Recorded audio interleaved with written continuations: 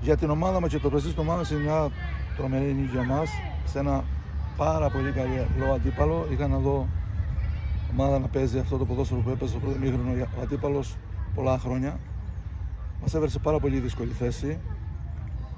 Ευτυχώς στο δεύτερο μήχρονο με τις αλλαγές που κάναμε και αλλάξαμε λίγο τον τρόπο παιχνιδιού μας στο αμυντικό κομμάτι, βελτιωθήκαν πάρα πολύ. Ξέρω ότι εμείς όταν είμαστε καλά αμυντικά, γκολ σίγουρα θα βάλουμε. Θα δώσω πάρα πολλά συγχαρητήρια στους ποδοσφαιριστές με την προσπάθεια που έκαναν. Θέλω να δώσω όμως και συγχαρητήρια στον αντίπαλο, στον κόσμο και γενικά στη συμπεριφορά που επικρατούσε σε ένα τόσο μεγάλο παιχνίδι. Τώρα αυτή η νίκη μας δίνει ένα πλεονέκτημα, αλλά δεν λέει και κάτι. Γιατί έχουμε τώρα 7 βαθμούς, έχουμε τρία παιχνίδια. Αν δεν πάρουμε κάτι στα επόμενα παιχνίδια, ζάμπα η νίκη, ζάμπα η προσπάθεια. Εμείς θα προσπαθήσουμε στα επόμενα παιχνίδια να είμαστε σοβαροί, συγκεντρωμένοι και όπου μπορούμε να πάρουμε βαθμούς, βαθμούς γιατί έχουμε δύο έξω και ένα παιχνίδι τελευταία αγωνιστή με τον Αγία Παρασκευή, θα το κάνουμε. Από εκεί πέρα νομίζω ότι είναι ένα πολύ δύσκολο μίνι πρωτάθλημα. Δεν το περίμενα να πω την αλήθεια έτσι.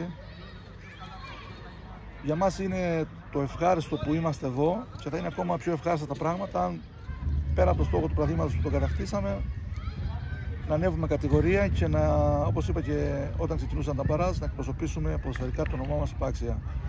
Θέλω να πω πολλά συγχαρητήρια στον αντίπαλο γιατί έχει πολύ καλή ομάδα, μακάρι και το εύχομαι μέσα από την ψυχή μου να είναι μια από τις ομάδες όπως εμείς που θα πάρουν ένα από τα τρία εισιτήρια. Δύσκολο, αλλά δεν είναι ακατόρθωτο για κανένα.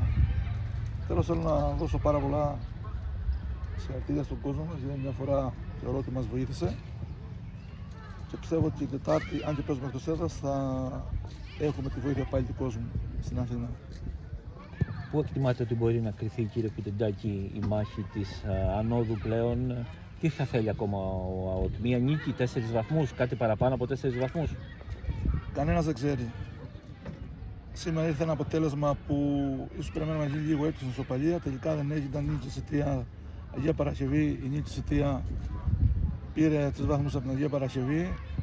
Μας έκανε, θεωρώ και εμάς, και στα χανιά της υπόλοιπης ομάδας, ένα δώρο. Όχι ότι την υποτιμώ σαν ομάδα, αλλά όταν εμείς περάσαμε από εκεί μέσα και οποιαδήποτε ομάδα δεν πάρει τους βαθμούς, για μας είναι σαν να κάνει δώρο η αντίπαλη ομάδα. Τώρα βαθμολογικά δεν ξέρω γιατί θα παίξουν ρόλο πάρα πολύ πέρα από τις ίδιες του κάθε και τις οπαλίες. Σε, κάποια, σε κάποιες ομάδες είναι βολικές οπαλίες, σε κάποιες άλλες δεν είναι.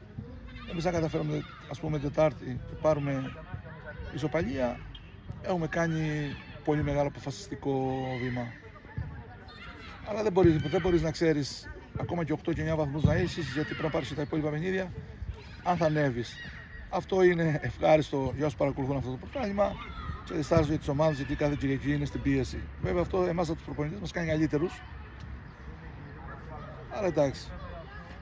Ε, μετά από πολλά χρόνια, να πούμε τώρα για την άμεση συνέχεια, μετά από πολλά χρόνια, δεν ξέρω, μάλλον από τότε που ήσασταν εσείς ποδοσφαιριστές, ο αθλητικός όμιλο του Μπακίου θα κάνει ένα ταξίδι εκτός Κρήτης για να αγωνιστεί σε επίσημο παιχνίδι με την ε, Ελλάς ε, Ποντίων. Θέλω να μας πείτε για αυτό το παιχνίδι, τι περιμένετε; Σε μια ιστορική έδρα όπως είναι αυτή της προοδευτική.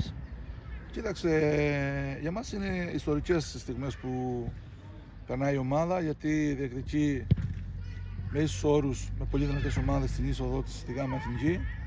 Είναι αλήθεια ότι εγώ με την ομάδα που είμαι πάρα πολλές φορές εδώ έχω κάνει μόνο ταξίδια σαν, σαν ποδοσφαιριστής. Τώρα ήρθε και η ώρα να κάνω σαν προπονητής.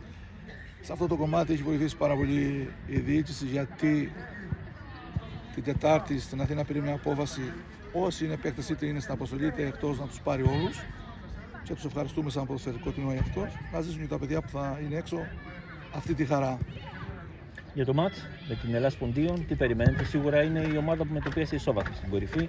Άρα είναι ουσιαστικά ένα ντέρμπι κορυφής, ίσως να αποδειχθεί και ντέρμπι ανώδου. Δηλαδή ο νικητής να κάνει το μεγαλύτερο και πιο ουσιαστικό βήμα για να εξασφαλίσει την άνοδο στην τρίτη τεχνική, έτσι; Κοίταξε, η Ελλάδα Ποντίων είναι από τα φαβορή να ανέβει.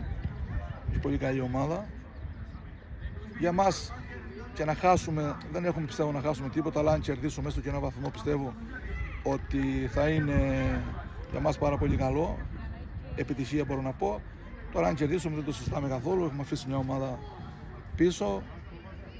Θα είμαστε στην κορφή. Το ίδιο πιστεύω ότι είναι και για την Ελλάδα ε, Ποντίων. Ε, θεωρώ ότι θα γίνει ένα καλό παιχνίδι. Ε, το χτίσμα για την ομάδα μου είναι ότι είναι πάρα πολύ συγκεντρωμένη στα παιχνίδια και πολύ σοβαρή. Και πιστεύω ότι και είμαι και σίγουρος ότι θα τα αποκτήσει αυτό το παιχνίδι. Τώρα, αν πάρουμε βαθμούς σε βαθμό, θα δείξει. Θα ξέρουμε τι θα έρθει.